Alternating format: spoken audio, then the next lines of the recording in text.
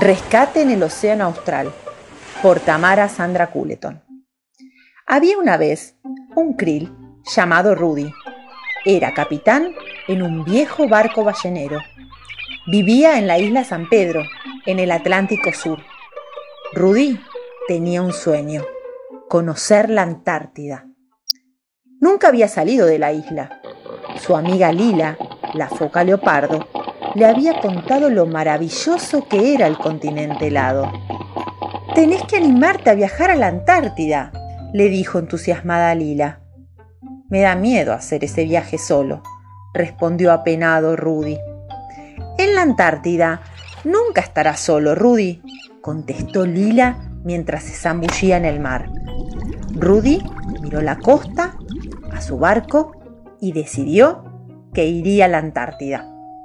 En lo alto del mástil del viejo ballenero lo observaba Jorge, un joven y arrogante albatros. Entre risas se acercó a Rudy diciendo, Sos muy pequeño para hacer un viaje tan peligroso. Deberás cruzar un mar que siempre está enojado, peleando con el viento. ¿Cómo vas a enfrentar al mar y al viento? Mira mis alas gigantes. A mí, el viento y las olas me respetan. Desplegó sus enormes alas y se fue.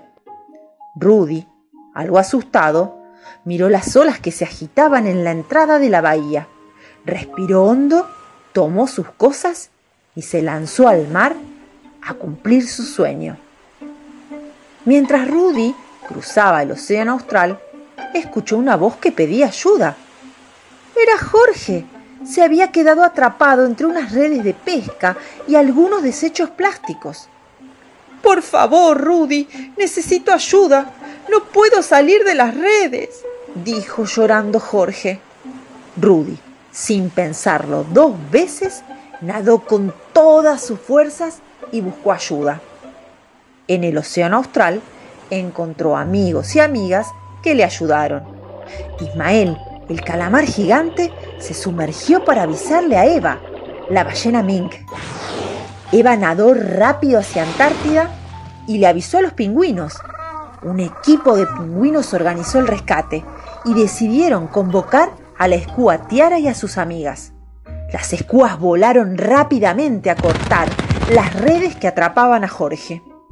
En poco tiempo, Jorge pudo desplegar sus enormes alas algo avergonzado, le agradeció por su ayuda a Rudy y al resto del equipo, y siguió su viaje. Al final, el tamaño poco importa a la hora de un rescate en Antártida, pero es un trabajo que nunca se puede hacer solo. Así Rudy siguió su viaje y cumplió su sueño. Junto a sus nuevos amigos y amigas, descubrió los maravillosos paisajes y los secretos del continente blanco.